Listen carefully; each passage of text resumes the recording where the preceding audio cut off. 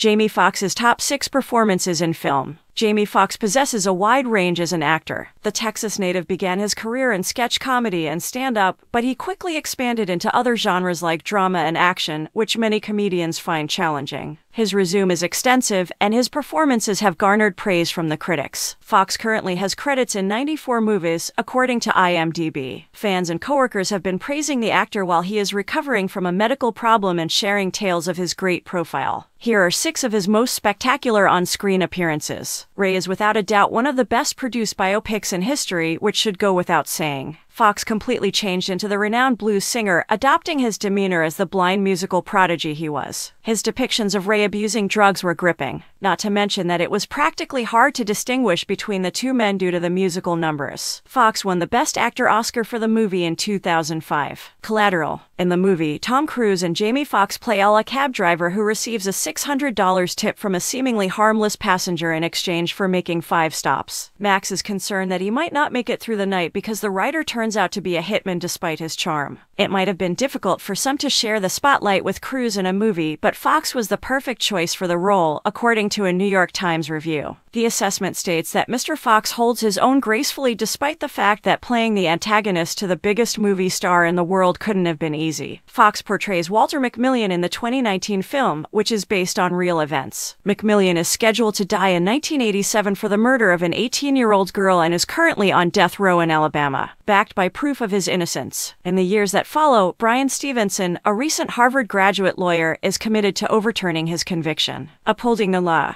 the former member of In Living Color plays Nick, a young prosecutor who makes a deal with one of the nearly treble murderers of a wife and daughter. The father, played by Gerard Butler, survives and pursues the ultimate retribution both outside and inside prison. He won't stop until he feels justice has been done, regardless of who suffers collateral damage. Dreamgirls. In yet another musical, Foxx played Curtis, a character based on Motown founder Berry Gordy, in the ensemble with Eddie Murphy, Jennifer Hudson, and Beyonce. In the 1960s, he is the manager of a girl group with the potential to go far, but he frequently puts profit ahead of morality in an effort to advance the group. Every given Sunday, Foxx plays a player on a football team that is having trouble in what is hailed as one of the best sports movies, but his coach is determined to get the best out of them.